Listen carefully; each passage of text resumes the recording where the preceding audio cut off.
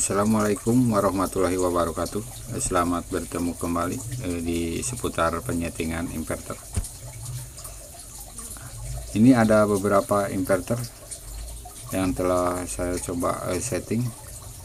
Inverter Hitachi, inverter LS IG5A, inverter Danfoss, inverter Delta, eh, dan lain-lain Dengan cara setting yang berbeda-beda dan kali ini eh, saya akan coba eh, setting untuk inverter Hitachi.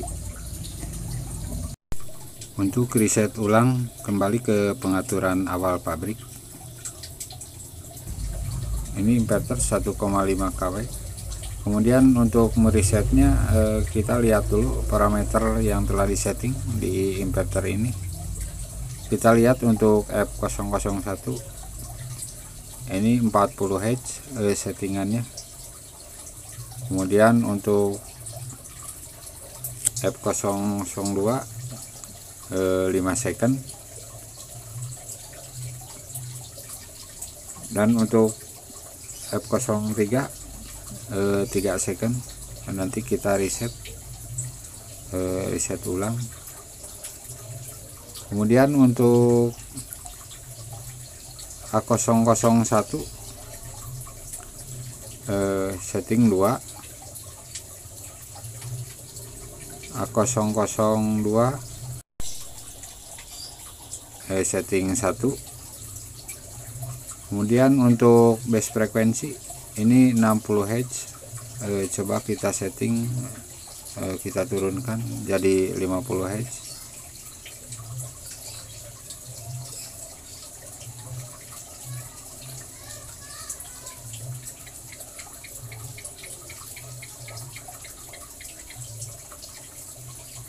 untuk A004 eh, ini maksimal frekuensi ini 60 Hz eh, kita naikkan jadi 90 Hz kemudian nanti kita eh, reset ulang untuk pengaturan parameternya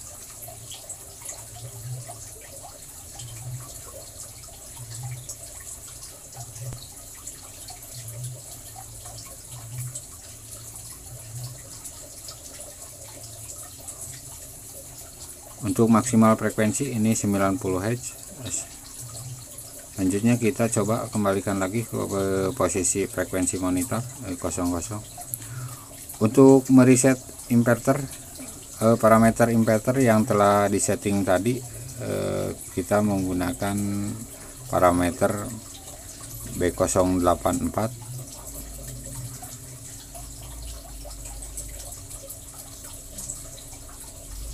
ini inisial mode eh, kita setting eh, 2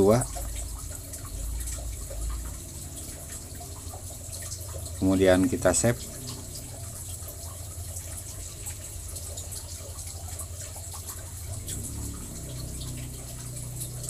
Selanjutnya eh, kita cari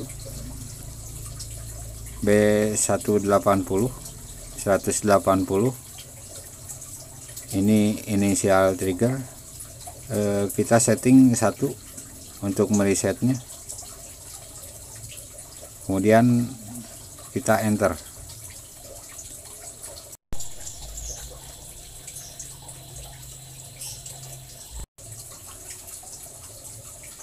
Selanjutnya setelah kita mereset eh, kita coba lihat lagi untuk parameter yang tadi yang telah kita setting untuk F001 ini tadi 40 Hz kemudian setelah di reset eh, ke kembali ke pengaturan pabrik ini 0 Hz kemudian untuk F002 eh, tadi setting 5 Hz sekarang menjadi 10 Hz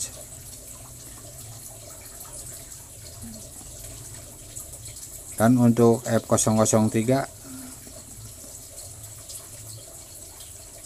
eh, tadi di setting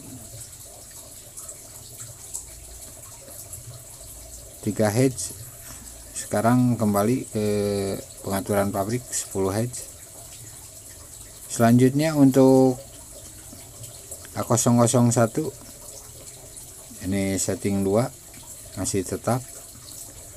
Kemudian A002 ini tadi eh, setting 1 kita kembalikan lagi ke setting 1 dan untuk base frekuensi tadi di setting 50 Hz sekarang kembali lagi ke 60 Hz dan untuk A004 maksimal frekuensi sama tadi naikkan 90 Hz sekarang kembali ke 60 Hz